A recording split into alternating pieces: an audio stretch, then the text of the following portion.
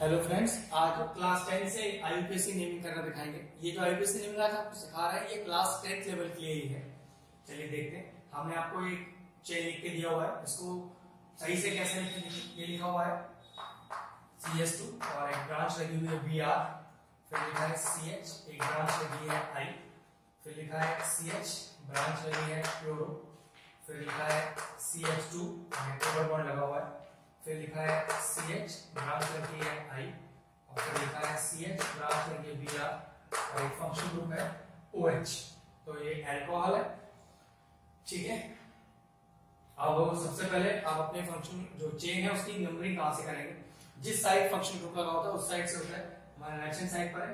तो लेकिन इसमें कोई कार्बन आइटम तो है नहीं तो सबसे पहला कार्बन आइटम यहाँ से स्टार्ट होगा एक, दो, तीन, चार, पाँच और छह।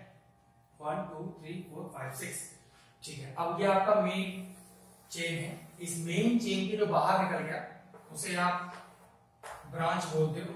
और ब्रांच का नंबर सबसे पहले किया जाता है में तो सबसे पहले देखिए, एक नंबर पे ब्रोमो लगा हुआ है और एक छह नंबर पे ब्रोमो लगा हुआ है। तो आप कैसे लिखेंगे? वन सिक्स डाई ब्रोमो ठीक है, फिर अगला देखिए, एक दो नंबर पे आइडो है और पाँच नंबर पे भी आइडो है तो लिखेंगे टू फाइव डाई आइडो ठीक है? अब एक चार नंबर पे क्लोरो है तो फोर क्लोरो सबसे पहले जो हम नाम देते हैं, वो ब्रांचेस को देते हैं। सारे ब्रांच नाम कर दिए गए हैं। अब उसके बाद नंबर ऑफ़ कार्बन एटम्स छह कार्बन एटम है। तो ये हो गया एक्स अब बॉन्ड बॉन्ड देखिए। अब एक्चुअल में अगर नंबरिंग इधर से स्टार्ट है तो जो बॉन्ड से पहले वाला नंबर है, उस पर उसका बॉन्ड माना जाता है। तो थ्री आइन कैसे लिखेंगे? थ्री आइन तो ट्रिपल बॉन्ड कैसे आइन लग गया। अब function group function group O H है, जो कि अल्कोहल डिनोट करता है प्रोनाउंसिएशन ओल होता है, और इसे एक नंबर माना जाएगा। तो वन ओल तो नाम हो गया।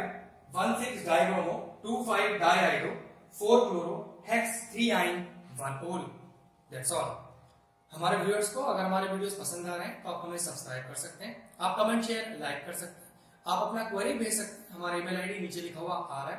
आप अपना क्वेरी में व्हाट्सएप कर सकते हैं, हमारा व्हाट्सएप नंबर भी नीचे लिखा हुआ आ रहा है।